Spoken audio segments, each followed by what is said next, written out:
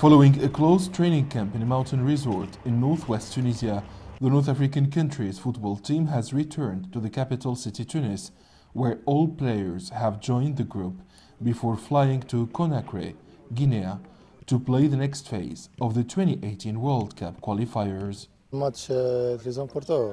Some of our teammates were busy playing the African Champions League and the CAF Cup. Now that the group is complete, we are preparing together in a good atmosphere.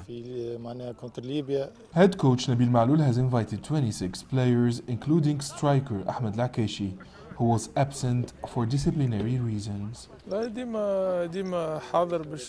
have learned from my mistakes. I'll give my best. We must win the match. Despite being technically out of contention, Guinea could frustrate Tunisia's World Cup dream, something that the team is well aware of. Guinea has nothing to lose. That's why we must guarantee the qualification. We are going to Conakry for a positive result.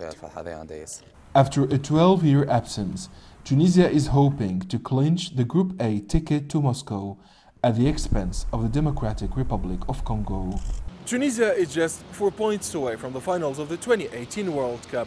The road to the first points begins with a trip away to a tricky Guinean side.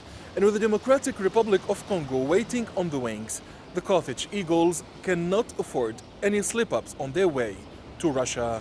Adnan Shawishi, CGTN, Tunis, Tunisia.